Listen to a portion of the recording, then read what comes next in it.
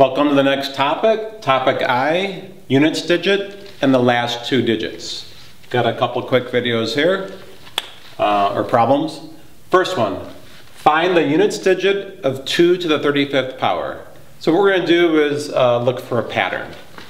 So 2 to the 1 is 2, 2 squared is 4, 2 cubed is 8, 2 to the 4th is 16, 2 to the 5th is 32, and the pattern is going to continue in cycles of 4.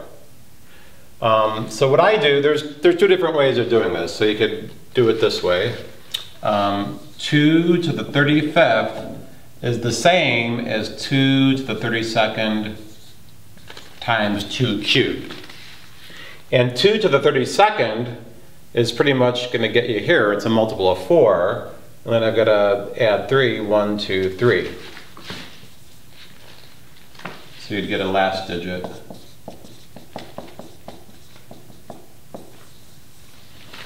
of 8. Another way of doing it is um, dividing and looking in terms of remainders. So thinking this is like a remainder 1, this is a remainder 2, this is a remainder 3, this is a remainder 4, really remainder 0 because it's multiples of 4. All right, so what we could have done is done um, 35 divided by 4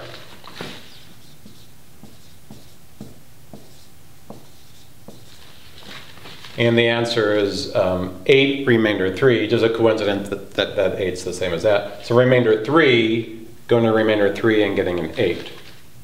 Again, it's this remainder 3 and this remainder 3 there that's giving you the answer. Okay, next problem, 3 to the 102. Again, we'll look for a pattern.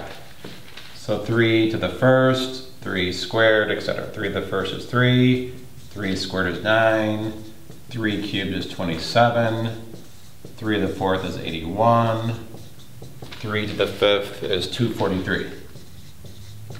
Again, we have a cycle of 4, so I'll just do it the division way. Some people find that easier. This is remainder 1, remainder 2, remainder, remainder 1, remainder 2, remainder 3, remainder 0. So we'll just do it the division way. So 102 divided by 4, because it's a cycle of 4. So 4 goes into 10 twice, 8, 22, 5, 20. 25 remainder 2, remainder 2 corresponds to 9.